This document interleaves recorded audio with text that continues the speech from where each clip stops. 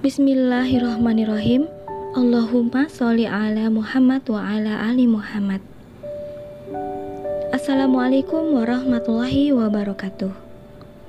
Selamat berjumpa lagi dengan Nikhan TV dengan saya Nikhan atau Umi Nabila. Mungkin Anda sering mendengar ungkapan rejeki di tangan Allah. Maksudnya adalah Allah telah mengatur rejeki semua makhluk ciptaannya yang meliputi manusia dan hewan. Namun tak dapat dipungkiri bahwa Anda masih kerap khawatir dan pusing tujuh keliling saat memikirkan satu perkara ini, yaitu rejeki. Terlebih saat Anda merasakan hidup semakin hari kian sulit, kebutuhan meningkat, namun penghasilan justru malah makin sedikit ditambah beban hutang yang menghimpit diri Anda. Sebelum Anda makin pusing, ada baiknya Anda memahami dulu hakikat rezeki dari Allah. Dengan begitu, Anda akan lebih kuat dan tangguh jalani hidup ini yang tak akan pernah terlepas dari berbagai cobaan. Berikut lima orang yang telah dijamin rezeki berlimpah oleh Allah. Mari kita simak. Pertama, orang yang bersyukur. Janganlah kita menyangka bahwa bersyukur itu hanya sekadar pujian dan berterima kasih kepada Allah. Ketahuilah bahwa bersyukur itu pun menuai pahala, bahkan juga membuka pintu rejeki di dunia. Allah Ta'ala berfirman, dan sungguh orang-orang yang bersyukur akan kami beri ganjaran. Surah Al-Imran ayat 145.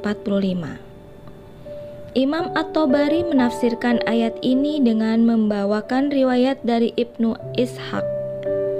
Maksudnya adalah karena bersyukur Allah memberikan kebaikan yang Allah janjikan di akhirat dan Allah juga melimpahkan rezeki baginya di dunia.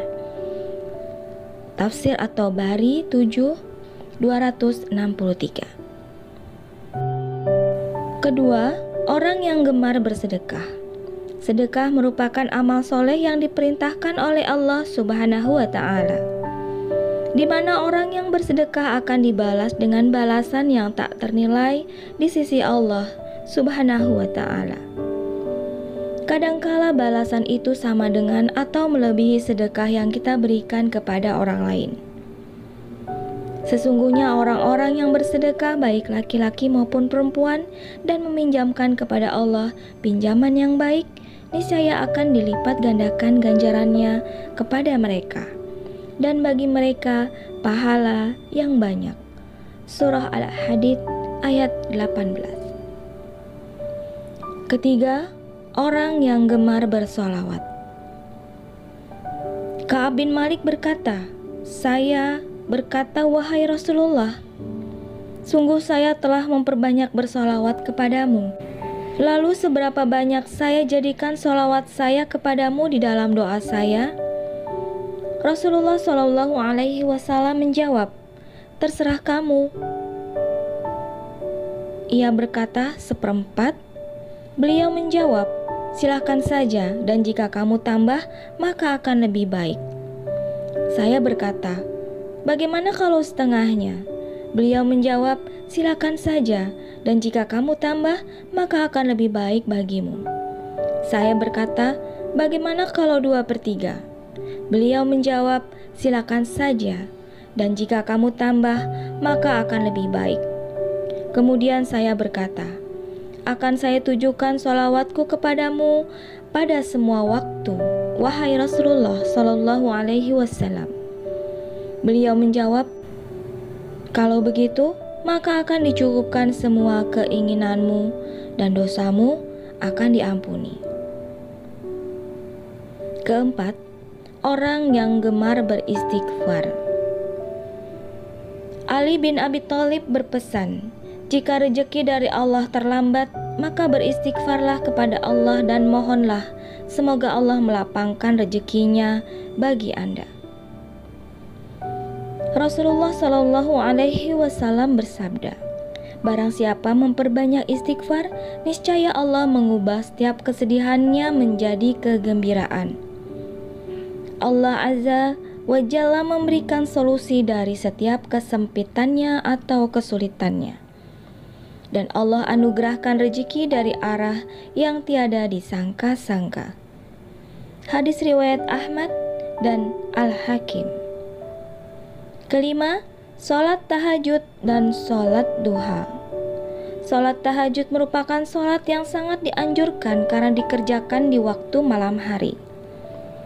Rasulullah Shallallahu Alaihi Wasallam kerap melakukan sholat malam ini yang menyimpan banyak anugerah. Di dalam surah Al-Isra ayat 79 menyebutkan bahwa orang yang melaksanakan sholat tahajud akan diangkat di tempat terpuji. Sholat duha selalu diidentikan dengan pembuka rejeki. Pengerjaan sholat ini memang di saat orang-orang sibuk bekerja agar rezeki dimudahkan Allah, sudah sepantasnya kita istiqomah untuk melaksanakan sholat duha. Demikianlah lima orang yang Allah janjikan rezeki berlimpah. Semoga kita termasuk di dalamnya. Amin. Satu pesan saya, rezeki sudah diatur Allah. Jangan takut tertukar karena sudah ditakar. Ingin rezeki berlimpah? Dekatilah Allah. Alhamdulillahirabbil alamin. Allahumma sholli ala Muhammad wa ala ali Muhammad. Barakallahu fikum. Wabillahi taufik wal hidayah. Wassalamualaikum warahmatullahi wabarakatuh. Salam takwa, Umi Nabila.